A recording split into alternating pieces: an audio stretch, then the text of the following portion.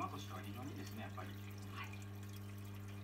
えこちら変わりましてキャガのモナークスブレッそうですね、まあ、ちょっと汗かいてる感じがあるんですかね、まあ、かなりこの仕草を見ていると入れ込んでるかなと、まあ、それでまあ早めに上回れるのかなといった感じなんですが、うん、ちょっとこのテンションはかなり高そうですね、ちょっと心配ですかね。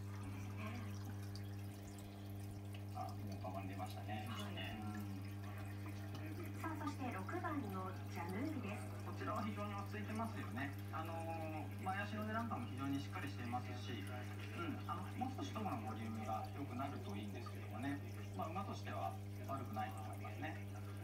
ドバイターフ馬券の締め切りまであと3分でございます。ドバイターフ馬券の締め切りまであと3分です。パドック最後までご覧いただいてると間に合わないかもわかりません。馬券のご購入今すぐにお願いします。こちらが8番リアルスティールですはい、ニアルスティールもこちらの当時のテンションが非常に、えー重要な馬なんですが、うん、きっちり我慢できて歩いていると思います。あの本当にね、草案上でものすごくあの暴れたりすることがある馬なんで、その辺も心配なんですけどね、この感じ見ていると、あのその辺もクリアしてきたんじゃないかなと思います。まあ、少なくともパドックで見る限り、力を当てる状態だと思いますね。はい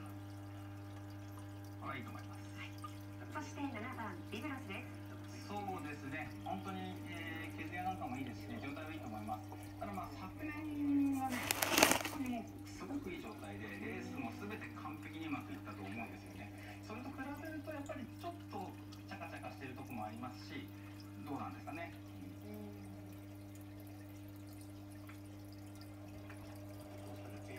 そして10番のモーン・ディクリーですそうですね、まあ、これあの香港でも一応見ているんですけども、まあ、ちょっとそうですね。この 1000km 前に入ると若干強調する材料は見当たらないというのは正直なところですね、はい、まあ、このパドッ見ててもやはり全体的に近づいたには